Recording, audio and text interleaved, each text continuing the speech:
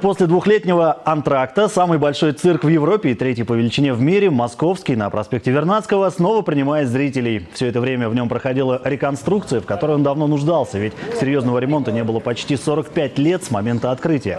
Приведены в порядок гримерки, репетиционные залы, офисы, а представления теперь будут еще более яркими и эффектными за счет нового освещения. Но в цирке надеются, что это только начало. Цирк тек в буквальном смысле слова почти везде, и мы не могли ремонтировать э, ничего внутри, потому что это просто будет неблагодарная работа. Поэтому мы именно с этого и начали. Но проблемы, но проблемы остаются, потому что э, основная часть купола, то есть основной купол, он все еще находится в таком вопросительном состоянии. А к открытию цирка труппа подготовила новогоднее шоу «Вещий сон» по мотивам славянских мифов с пятиметровой избушкой на курьих ножках и, как сообщается, змеем Горынычем в натуральную величину.